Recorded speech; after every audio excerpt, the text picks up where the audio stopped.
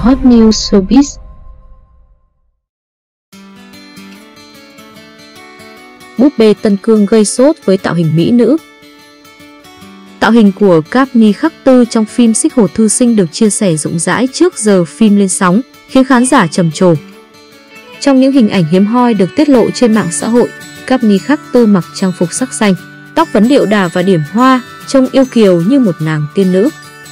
Tạo hình liên hoa tinh, nàng anh liên xinh đẹp của Capni Khắc Tư trong Xích Hồ Thư Sinh hứa hẹn đem đến một câu chuyện thú vị.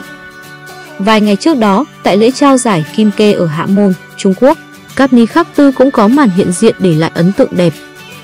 Sánh vai bên hai bạn diễn Xích Hồ Thư Sinh là Tài Tử Lý Hiện và Trần Lập Nông, Capni Khắc Tư bé nhỏ nhưng xinh đẹp, yêu kiều. Capni Khắc Tư mang đặc trưng nhan sắc của người Tân Cương, mũi cao, mắt sâu, các đường nét trên gương mặt đều rất sắc. Cô còn được nhận xét là có đôi lông mày rất đẹp, dài và thanh tú, miệng nhỏ xinh. Dù bị chê có chút thô cứng khi để mặt mộc, mỗi khi hóa trang trong các tạo hình mỹ nhân cổ trang, các ni khắc tư dễ dàng chinh phục khán giả bởi nét đẹp sắc sảo.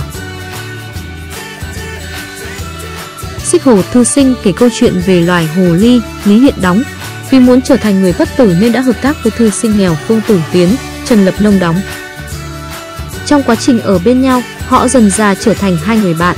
Tuy nhiên, mối quan hệ của hai người suýt nữa thì dạn nứt bởi nàng anh Liên, Capni Khắc Tư đóng. Theo tiết lộ của đơn vị sản xuất trong tác phẩm này, Capni Khắc Tư sẽ có những cảnh yêu đương và lãng mạn với tài tử Trần Lập Nông. Capni Khắc Tư người gốc Tân Cương, sinh năm 1996. Cô nổi tiếng sau một đêm khi xuất hiện với thần thái xuất thần trên sân khấu chương trình Quốc phòng Mỹ thiếu niên năm 2019. Nhờ nhan sắc hút hồn, cô được gọi là búp bê Tân Cương. Từ đó đến nay, cô nỗ lực phát triển sự nghiệp trong showbiz với vai trò người mẫu, diễn viên. Từ đầu 2020, cô đóng liên tiếp nhiều phim truyền hình như Ngọc Lâu Xuân Thiên Cổ Quyết Thần, Trung cực bút ký, nhưng chưa phim nào phát sóng.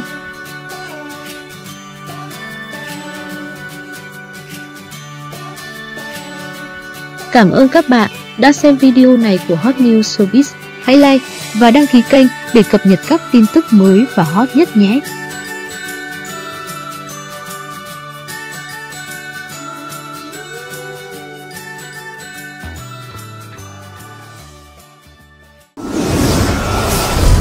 Hot News Showbiz